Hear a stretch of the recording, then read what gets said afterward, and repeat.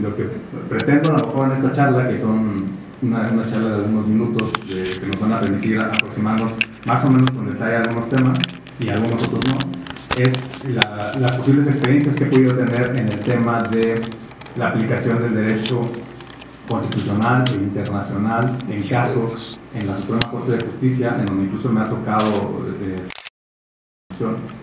y en, la, el propio Tribunal Electoral ahora, ¿no? en donde me encuentro todavía. Eh, bueno, ahí te dije todavía que estaba actualizada la, la, síntesis, pero ahora soy secretario de cuenta de la sala. Y eso, pues mi, labor es elaborar nuevamente proyectos de resolución, algunos de ellos, o, hay dos funciones fundamentales de la Secretaría de Estudio y Cuenta, como ustedes saben, en la Sala Superior del Tribunal, que es elaborar los proyectos de, sentencia para resolver los medios de impugnación que se presentan. Entre ellos, por ejemplo, el más importante que probablemente tiene en este contexto electoral que, que estamos viviendo, por eso, justamente, perdón, paréntesis, el esfuerzo de día sábado, porque no podía otro día yo estar con ustedes, lamentablemente. ¿no? Eh, pero la competencia más importante que tiene la sala, o una de las más importantes en ese contexto electoral, como saben ustedes, es la calificación de la elección presidencial, que se presentará después, seguramente, de la impugnación que se dé eh, de la, por la jornada electoral del 1 de julio y que el tribunal tendrá que resolver hasta antes del 6 de septiembre. ¿no? Esa es una de las principales competencias, pero en este momento está resolviendo muchos otros medios de impugnación y algunos de ellos tienen que ver con temas precisamente de derechos de pueblos y comunidades indígenas. Por lo tanto, he podido, digamos, seguir de cerca, desde ese punto de vista, de la práctica de las, del derecho constitucional, insisto, del derecho electoral ahora y del derecho internacional, eh, la aplicación de los derechos indígenas. Eso es lo que yo quería como venir a platicarles acá, ¿no?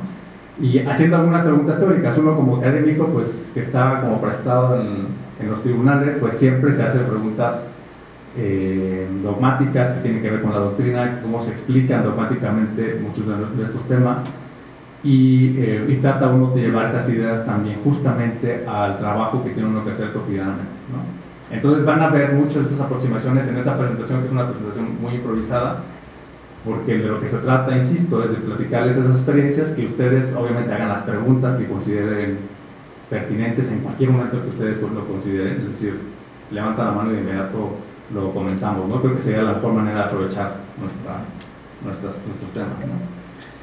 Preguntas iniciales, se me ocurrió que tendríamos que hablar inicialmente de algunos cuestionamientos, ¿no? Eh, por el nombre que le dimos a la charla, ¿no? Eh, y que no, están del todo claros siempre que hablamos, o no tenemos la claridad conceptual siempre que debatimos sobre algunos de los temas. Y uno de ellos, paradójicamente, es uno de los más importantes de nuestro constitucionalismo del, y del derecho internacional, que es lo que es un derecho. ¿no? Eh, por supuesto que no pretendo pensar que no, o sea, que no tengamos todos una idea o una noción de lo que es eso, pero en derecho es muy importante reconocer el contenido de, de alguna institución y sus restricciones, sus limitaciones, sus alcances. ¿no? su connotación técnica. De, de hecho, los tribunales son, estamos, digo ahora estamos porque yo como parte de uno, estamos eh, o debemos privilegiar la técnica jurídica de un concepto para poder aplicarlo. ¿no? Si no tenemos esa claridad técnica, el derecho va a ser cualquier cosa. ¿no? Es decir, eh, podría ser lo que me le gusta al vecino de enfrente, podría ser lo que yo considero que es eh, el derecho desde mi punto de vista, por ejemplo, Ferrayoli pone un ejemplo que a mí me gusta mucho, que es eh, la siguiente, ¿es un derecho fundamental exigir que mi vecino me salude en la calle?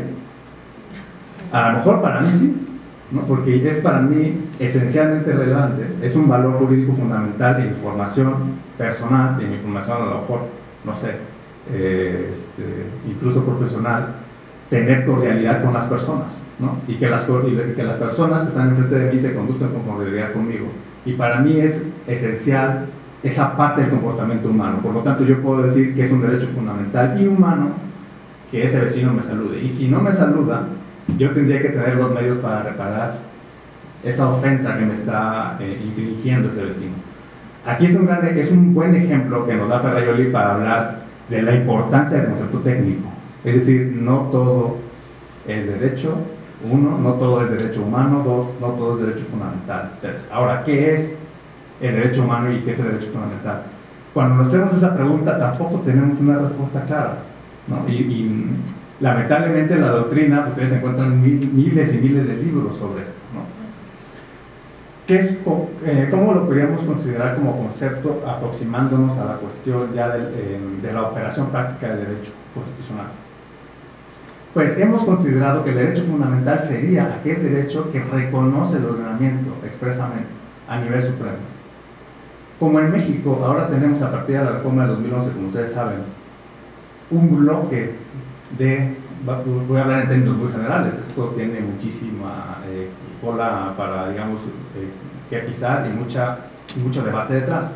Pero en el artículo primero tenemos, sin lugar a dudas, aunque muchos ministros de la Corte lo nieguen, un bloque de constitucionalidad.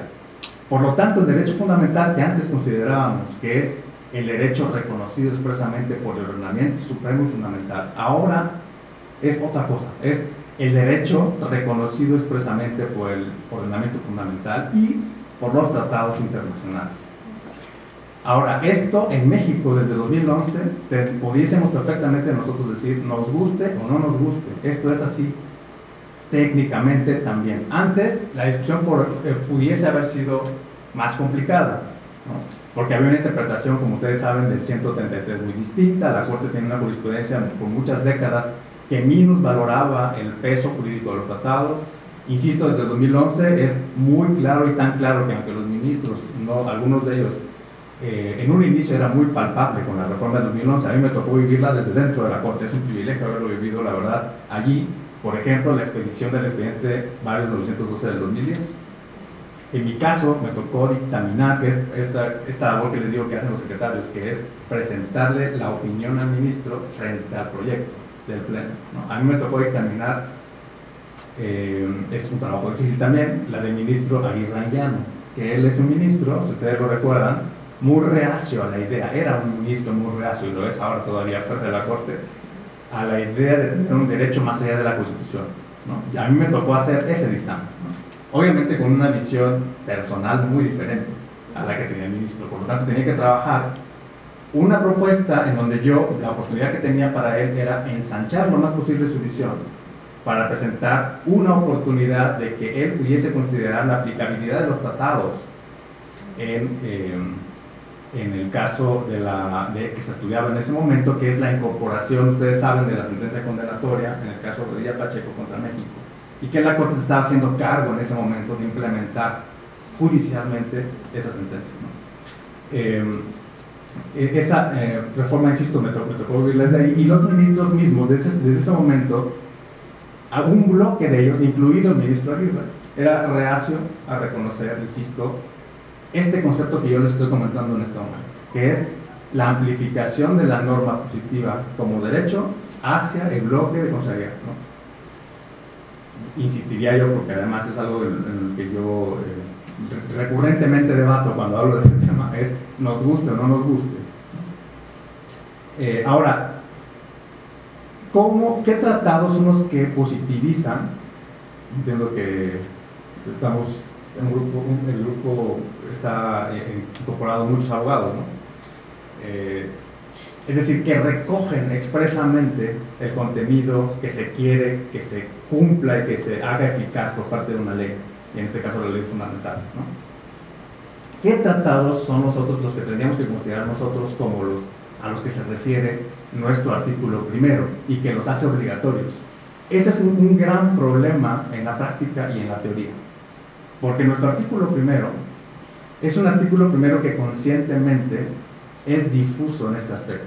Es decir, el poder reformador de la Constitución, de manera consciente y por eh, motivaciones de diferente tipo, entre ellas las políticas, es decir, con las políticas lo que quiero decir es que no midiendo las consecuencias del dictum, del dictado del artículo primero, de lo que estaban redactando en el artículo primero, yo creo que es una hipótesis que es fácil de comprobar. Los el poder reformador de la Constitución simple y sencillamente no eh, entendió los alcances que tenía esa redacción. Eh, eso, eso puede ser una hipótesis. Otra hipótesis es que pudo haber pretendido que eso no iba a aplicarse. El problema para quien, pensaba políticamente así es que los tribunales tenemos la obligación de aplicar la norma. Y tal como está redactada, lo que dice el artículo primero es todos los tratados en los que forme parte del Estado mexicano. ¿Cuáles tratados? Todos. ¿Cuáles son? No sabemos. Tenemos que ir, bueno, no sabemos a priori. Lo tenemos documentado. Tenemos que ir a las fuentes oficiales para conocer, las fuentes oficiales cuáles son, pues la fuente, en este caso, la Cancillería Mexicana, que tiene un registro de esto, el Poder Legislativo, la propia Suprema Corte tiene recogidas estos tratados, y, y, está registrado las diferentes fases en las que se ha venido elaborando y redactando y reconociendo estos tratados. Los que han sido firmados y publicados son parte del bloque de Cursalidad. Dentro de ellos, insisto, pues, estoy hablando de, los, de los fundamentales, dentro de ellos tenemos derechos fundamentales ahora y derechos humanos. ¿no? Hice, eh, digamos, conscientemente estas, las dos preguntas. ¿no? y dije al inicio, el derecho fundamental nosotros podríamos considerarlo entonces desde el derecho constitucional como la, la norma suprema reconociendo el derecho. El derecho humano, desde el constitucionalismo, nosotros lo consideramos como una norma internacional reconociendo un derecho que puede ser coincidente con el derecho constitucional. Digamos que la expresión derecho humano estaba reservado para el orden internacional a nivel, digamos, de si, seguimos la tradición europea, ¿no? y, e incluso la propia norteamericana. ¿no? Y en México también seguíamos esa pauta, es decir, para nosotros había garantías individuales y poco a poco íbamos conociendo que derechos humanos se iban incorporando en el orden internacional. ¿no? Eh, entonces, reconociendo esa aproximación, que fundamentalmente yo en lo personal la conozco por la, tradición europea, el derecho fundamental, ¿no?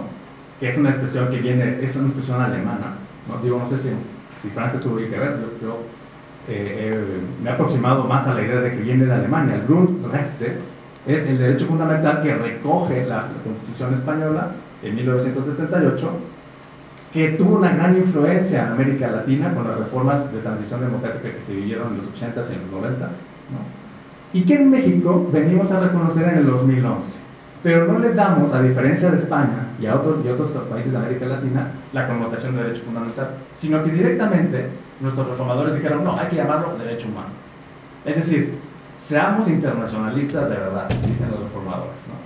Eh, y vamos a llamarnos derechos humanos como lo reconoce la Declaración Universal, como lo reconoce el Pacto de San José, como lo reconocen los pactos adicionales al sistema interamericano.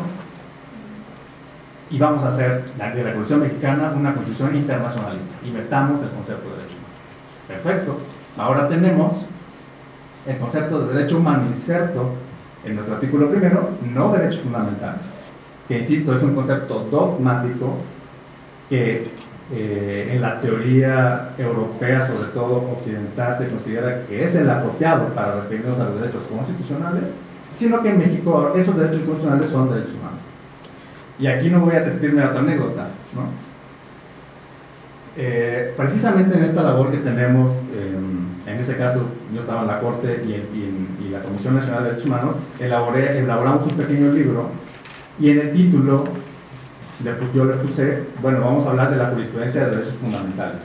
Era un año 2012 en donde muchos de los que estábamos en esa línea de que se deben denominarse de esta manera, sobre todo para distinguir el derecho internacional de constitucional, ¿no? y siguiendo esta línea lógica. ¿no? Y el dictamen de la Comisión Nacional de Derechos Humanos sobre la publicación viene con la observación del título. Y, y nos dice la comisión, a ver, no, su título está mal, señor autor, porque debe decir derechos humanos si tiene usted la oportunidad de, de réplica, díganos por qué quiere, si quiere insistir, díganos por qué usted utiliza la expresión de derechos fundamentales. Y en lo personal, pues mandé una carta explicando esta cuestión, pero después la comisión me convenció. Es decir, y, tuve, y tuve que decir lo que estoy diciéndoles ahora, ¿no? En México, nosotros decidimos que esos derechos constitucionales, por las motivaciones que sean, son derechos humanos. Así que es un derecho humano el debido proceso, es un derecho humano la libertad de expresión, es un derecho humano los derechos de, los pueblos y comunidades indígenas, es un derecho humano también la inviolabilidad de las comunicaciones privadas, es un derecho humano eh, la igualdad, todo aquello que en la teoría europea se considera como con otra denominación, en México son derechos humanos. ¿Cómo lidiar con eso técnicamente? La jurisprudencia ha tenido que lidiar con eso técnicamente. Y precisamente lo voy a relacionar con la siguiente pregunta inicial, ¿no? que ya no es tan inicial, porque ya estoy llevando los minutos. ¿Quién es titular de los derechos? ¿Una persona jurídica o social puede ser titular de derechos humanos? Esta pregunta se la han planteado recientemente tanto la Suprema Corte de México como la propia Corte Interamericana de Derechos Humanos en su opinión consultiva, si no recuerdo mal, 13 de 2017 o 16, me parece que 17. 16, 16.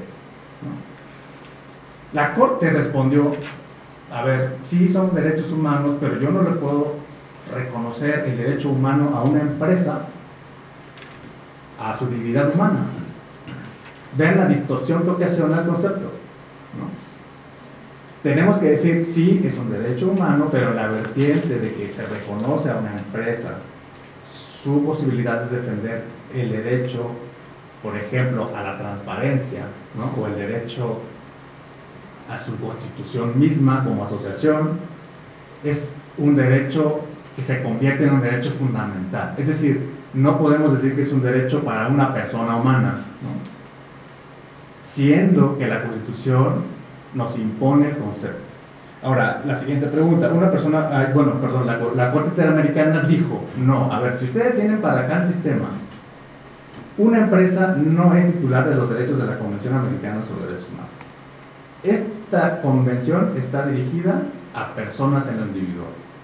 Por lo tanto, no vamos a utilizar la titularidad del derecho, no se la podemos dar a una persona moral, dijo la Corte Interamericana excepto en un caso o dos casos que ponen. El más importante para nosotros es la excepción de un colectivo que sí se le puede reconocer en el sistema interamericano la personalidad jurídica como para tener la titularidad de los derechos que reconoce la Convención, y que es justamente los pueblos y las comunidades indígenas, las colectividades indígenas de los países que forman parte del sistema. La Corte Interamericana primero elabora su concepto de que es un concepto individualista y luego reconoce la excepción hacia el final diciendo, bueno, a ver, tengo una excepción y esa excepción tiene que ver con los temas de derechos indígenas. Por lo tanto, no podemos aplicarle, y aquí podemos ya empezar a hablar de ese tema de la particularidad y la ductilidad de los derechos indígenas. A los derechos indígenas no podemos aplicarles a rajatabla, digamos, los moldes del derecho aplicable a los derechos civiles, incluso políticos individuales, ¿no? Eh, tradicionales. ¿no? La Corte Interamericana misma se da cuenta de eso y se dio cuenta desde hace muchos años de eso y elabora una doctrina propia para las comunidades indígenas. Es como si fueran un ente ¿no? que siendo un ente colectivo se le puede adjudicar y reconocer eh, para empezar, la titularidad de ciertos derechos que la propia convención de manera expresa no reconoce, sino que la jurisprudencia interamericana lo ha elaborado. Un ejemplo de ello es la propiedad. La convención dice, protejo el derecho a la propiedad. Y si uno lee el artículo correspondiente, se da cuenta que está hablando de la propiedad individual, de la propiedad privada. Pero la Corte hace como si ese artículo se estuviese refiriendo a las colectividades indígenas como si fuera una persona. Eh, y elabora jurídicamente en la jurisprudencia estas ideas. Eh, uno de los casos que voy a mencionar más tarde es precisamente uno de los más importantes en ese sentido, que es el, caso eh, de Saramaca y el caso también de Yatama contra Nicaragua. Entonces la titularidad, insisto, hay que verla en ese juego de conceptos. Sí, este, no soy abogada, eh, me da pena, pero voy a preguntar. Esto de la titularidad territorial me parece bien importante porque es un aspecto, aspecto en el que se basa de manera fundamental las cosmovisiones, la cohesión eh, de los pueblos originarios. Entonces el territorio como el espacio donde se crea y se recrea la cultura. Entonces a mí me parece esta decisión de reconocimiento algo muy importante porque no sé si, si fue así o es como consecuencia, pero el considerar la cosmovisión de, los propios pueblos, y esto me parece realmente de, reconocer y que juega un papel importante también para la toma de decisiones para construir sus propias demandas desde los propios pueblos. Sin lugar a dudas, desde la Corte Interamericana se impulsó la idea de que desde Naciones Unidas, la verdad, también ya tiempo atrás estaba trabajando sobre todo con la Declaración de los Derechos de los Pueblos Indígenas y también desde la propia Organización Internacional del Trabajo. La Corte se empieza a pronunciar de manera enfática después del año 2000, digamos, aproximándose al año 2000 y elabora bajo esta visión de la eh, que antes asociamos con una visión como incluso poética relacionada con los pueblos indígenas, elabora y lo convierte en un concepto jurídico, diciendo, hay una interrelación, esto es muy claro sobre todo, sobre todo en Salamanca, dice, hay una interrelación entre las personas que habitan desde tiempos coloniales y tiempos atrás estas regiones con incluso los recursos naturales en donde, estos, eh, estas mismas personas tienen su vida social. Por lo tanto, eh, insisto, al decirlo en una sentencia, una corte supranacional que tiene un alcance de vinculatoriedad con los estados que han reconocido su competencia contenciosa, pues convierte, no solamente lo convierte en un concepto jurídico, sino que además está imponiendo esto entre comillas, digo, yo creo que se puede decir con todas las letras. A veces es muy difícil hablar de imposición, ¿no? Eh, por supuesto, cuando hablamos de derechos humanos es más eh, polémico, ¿no? Pero yo la verdad sí llego a decirlo, ¿no? Cuando se elabora un concepto, una sentencia internacional reconociendo esta construcción y poniéndolo como parte de sus argumentaciones para llegar a una conclusión de que hubo una violación, como en el caso de Salamanca, ¿no? Ese entendimiento sociológico, mm, moral, político, probablemente, o cuasi político, que transforma la Corte en un concepto jurídico, se convierte en un concepto inesquivable para los estados. A partir de varias figuras. Una de las figuras a través del, cual se convierte un concepto jurídico inesquivable, si lo vamos a llamar para un estado parte del sistema, es si te condenaron. ¿no? Si te condenaron, se convierte eso en derecho casi sacrosanto. No, no puedes tú ir en contra de ese concepto.